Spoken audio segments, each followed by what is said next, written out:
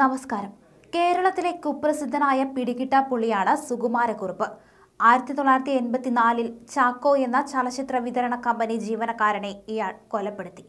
ശവശരീരം ആസൂത്രിതമായി ചുട്ടുകരിച്ചു. താനാണ് മരിച്ചതെന്ന് തെറ്റിദ്ധരിപ്പിച്ച് ഗൾഫിൽ അയാൾ ജോലി ചെയ്തിരുന്ന കമ്പനിയിൽ നിന്ന് ഇൻഷുറൻസ് പണമായി മുപ്പത് ലക്ഷം രൂപ തട്ടിയെടുക്കുകയായിരുന്നു കൊലയുടെ ഉദ്ദേശം. എന്നാൽ അത് നടന്നില്ല. പോലീസ് അന്വേഷണം ഈ നീക്കം പൊളിച്ചു.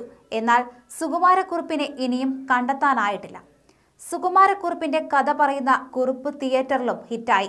ഇതിനോടൊപ്പം തന്നെ രണ്ടായിരത്തി ഇരുപത്തി ഒന്നിൽ ആലപ്പുഴയ്ക്ക് മറ്റൊരു സുകുമാരക്കുറുപ്പിനെ കിട്ടുകയാണ്. ഇവിടെ പ്രതി ആണല്ല പെണ്ണാണ് സെസി സേവ്യർ. അഭിഭാഷക ചമഞ്ഞ് പ്രവർത്തിച്ചിരുന്ന സെസി സേവ്യറിനെതിരെ പോലീസ് ലുക്കൌട്ട് നോട്ടീസ് പുറത്തിറക്കിയിട്ടുണ്ട്. ആലപ്പുഴ ജില്ലാ കോടതിയിൽ ഇവർ വ്യാജ അഭിഭാഷകയായി പ്രവർത്തിക്കുകയായിരുന്നു. നോർത്ത് പോലീസ് കേസെടുത്ത് അന്വേഷണം നടത്തി വരികയാണ്. എന്നാൽ നാളുകളായി ഒളിവിലായ ഇവരെ കണ്ടെത്താൻ സാധിച്ചിട്ടില്ല. ഹൈക്കോടതി ഇവർക്ക് ജാമ്യം നിഷേധിച്ചു. കീഴടങ്ങാനും ആവശ്യപ്പെട്ടു. എന്നിട്ടും അവർ പിടികൊടുത്തില്ല. ഇതിനെ തുടർന്നാണ് ലുക്കൌട്ട് നോട്ടീസ് പുറത്തിറക്കിയത്. ഇവരെക്കുറിച്ച് എന്തെങ്കിലും വിവരം ലഭിക്കുന്നവർ അടുത്തുള്ള പോലീസ് സ്റ്റേഷനിൽ വിവരം അറിയിക്കണമെന്നാണ് നിർദ്ദേശം. എന്നാൽ ആർക്കും സെസി സേവറിനെ കുറിച്ച് അറിയില്ല. ഇവരെ പിടികൂടാനാകുമോ എന്ന് പോലീസിനും സംശയമുണ്ട്. ഈ കേസിന്റെ ഒരു ഘട്ടത്തിൽ ആലപ്പുഴ കോടതിയിൽ നേരിട്ട് എസ് ഐ സി സേവ്യർ എത്തിയിരുന്നു. മുൻകൂർ ജാമ്യം നേടാനായിരുന്നു അത്. പക്ഷേ ജാമ്യമില്ലാ വകുപ്പുകൾ ഉണ്ടെന്നറിഞ്ഞ് അവർ പോലീസിന് മുന്നിലൂടെ നടന്നു കാറിൽ അപ്രത്യക്ഷയായി അതിനുശേഷം ആർക്കും ഒരു വിവരവുമില്ല. ഹൈക്കോടതിയിൽ തനിക്കെതിരെ വഞ്ചനാക്കുറ്റം നിലനിൽക്കില്ലെന്ന് സെസി സേവ്യർ വാദിച്ചു. മനപൂർവം ആൾമാറാട്ടം നടത്തിയിട്ടില്ല. സുഹൃത്തുക്കൾ തന്നെ വഞ്ചിക്കുകയായിരുന്നുവെന്നും സെസിയുടെ മുൻകൂർ ജാമ്യാപേക്ഷയിൽ വ്യക്തമാക്കിയിരുന്നു. പാവപ്പെട്ട കുടുംബത്തിലെ അംഗമായ താൻ സുഹൃത്തുക്കളുടെ പ്രേരണയിൽ വീണ്ടും വിചാരമില്ലാതെ ബാർ അസോസിയേഷൻ തെരഞ്ഞെടുപ്പിൽ മത്സരിക്കുകയായിരുന്നു. അസോസിയേഷൻ അംഗമല്ലാതിരുന്നിട്ടും തന്റെ പത്രിക സ്വീകരിച്ചുവെന്നും പ്രതിഭാഗം കോടതിയിൽ വാദിച്ചു. ഇതൊന്നും ഹൈക്കോടതി അംഗീകരിച്ചില്ല. ബാർ അസോസിയേഷൻ തെരഞ്ഞെടുപ്പിൽ ലോയേഴ്സ് കോൺഗ്രസ് സ്ഥാനാർത്ഥിയായി ഇവർ ജയിച്ചിരുന്നു. അതിനു പുറമെ അഭിഭാഷക വേഷത്തിൽ ലീഗൽ സർവീസ് അതോറിറ്റിയിൽ ഉൾപ്പെടെ പ്രവർത്തിച്ചിരുന്ന ഇവർ അഭിഭാഷക കമ്മീഷനുകളിലും അംഗമായി പ്രവർത്തിച്ചിട്ടുണ്ടെന്നാണ് വിവരം.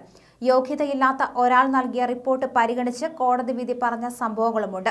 ഇതെല്ലാം വഞ്ചനയുടെ പരിധിയിൽ വരുമെന്നാണ് വിലയിരുത്തൽ. ഇത്ര ഗുരുതര കുറ്റം ചെയ്തിട്ടും ഇവരെ പോലീസ് അറസ്റ്റ് ചെയ്യുന്നില്ലെന്നത് വലിയ വിവാദമായിരുന്നു. താൻ ഒരിക്കലും അഡ്വക്കേറ്റായി മാറിയിരുന്നില്ലെന്ന വാദമാണ് ജാമ്യ ഹർജിയിൽ സെസി ഉയർത്തുന്നത്.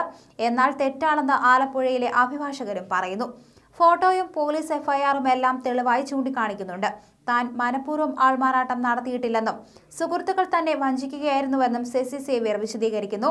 വീട്ടിലെ സാമ്പത്തിക ബുദ്ധിമുട്ടുകൾ കാരണം നിയമ ബിരുദ കോഴ്സ് പൂർത്തിയാക്കാനായില്ല.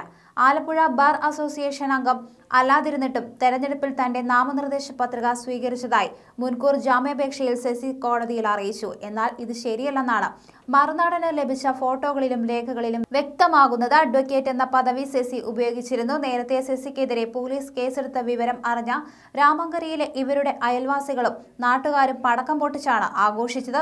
ഇവർ നാട്ടുകാർക്ക് സ്ഥിരം തലവേദനയായിരുന്നു. അഭിഭാഷകയായി ജോലിക്ക് പ്രവേശിച്ചതു മുതൽ അയൽവാസികൾക്കും നാട്ടുകാർക്കുമെതിരെ സ്ഥിരമായി കോടതിയിൽ കേസ് ഫയൽ ചെയ്ത് അവരെ ബുദ്ധിമുട്ടിക്കുക എന്നതായിരുന്നു ഇവരുടെ പ്രധാന വിനോദം.